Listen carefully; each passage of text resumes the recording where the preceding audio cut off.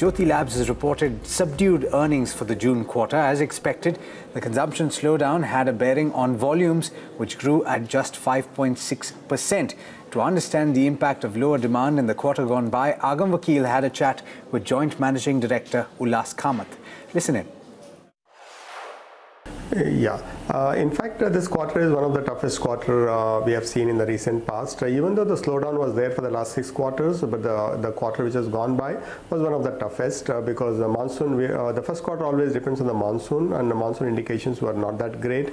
And also the consumption slowdown which is happening at rural India for the last six quarters, the last quarter was very, very acute. that is so to that extent, it was, I would say it is one of what we have seen in the last quarter. But July month is uh, looking much better than the June. Uh, to that extent, I am hopeful that uh, coming quarters will be much, much better than what the quarter has gone by. Uh, and uh, the second one is that uh, we have seen uptake in most of the daily needs product, but for smaller packs. that's the clear indication when the people are taking the smaller packs of 10 rupee and 5 rupee pack, then you know that they are buying for a week or buying for three days. So their consumption is still there, but they are buying it as much as required only. And household insecticides, which is completely dependent on monsoon, which has impacted us because we are negative by about 20% in household insecticides business in the quarter one. If I take out that, uh, then we have grown by 7.7% volume terms and uh, uh, value terms it will be 4.6%. So not as much as what we expected it, but hopefully in the coming quarters we should be able to make up some portion of the business what we have lost in the quarter one. As far as uh, gross margin is concerned, it has improved uh, 150 base, uh, bips and uh, that has resulted in uh, better uh, Uh, EBITDA margin and uh, also profit after tax has uh, gone up by 11.6%. So the margin expansion, it is good and the scale advantage you are able to get in and crude prices are softening, so no, no worry on that. It is just that the top line we need to get it and that, that is consumption led completely and more so from rural India. So I'm just trying to understand better when it comes to the volumes growth. If I take your overall picture standing at around 5.6%, you are saying that the month of July has turned out to be much better. Uh, but going forward, uh, uh, you know, it's not like the monsoons have been the best. Uh, I just want to get a better understanding that should we see similar numbers in the second quarter as well?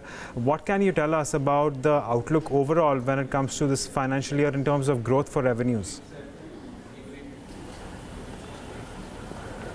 Yeah, uh, we'll take uh, quarter by quarter. In general, the second quarter uh, we it depends uh, you know like uh, on the kind of monsoon what we are seeing now in the south and the east and the northeast uh, it looks very very healthy. And enough water is there especially in the east and the northeast more, more, more, more of most of the places you see the flood also. So enough water is there to that extent no worries. But for the entire year if you want to see our guidance earlier we had given 12 to 14 percent because it was an election year and we're expecting uh, a lot of money flowing into the common man and they will buy it. So the indication what we had given uh, beginning of the year was 12 to 14 percent, but the way how we have seen uh, now in the first quarter we are revising it to 10 to 12 percent growth and the way how we have done in July month, I'm hopeful that if it continues, we should be able to hit 10 to 12 percent volume growth in the current year with a healthy EBITDA number and the PAT numbers. And uh, in terms of rural growth against urban growth, uh, how are you comparing these two segments for your company?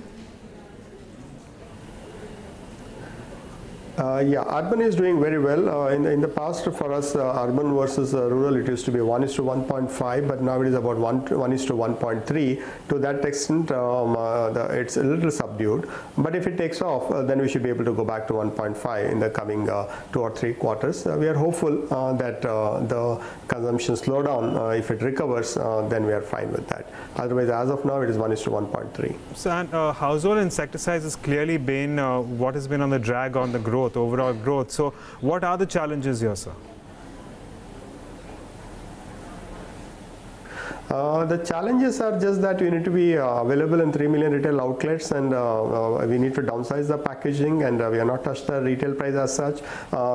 so we have come from 1 kilo to half kilo to 200 grams to 100 grams and the single use packages. So whatever is required to adjust this kind of uncertainties which we have quite a bit of experience in the last 30 years. So we have done that. So that is a reason, one of the reason I would say that we are still getting 7% volume growth. Other than household insecticides business, which is uh, which is mainly because of uh, know, no rains uh, uh in most of uh, the market where we are strong. The rest of things are under control. Uh, the challenges are maybe one percent, two percent here and there, but overall the boom in consumption, which we are hoping, it is not happening at this point in time.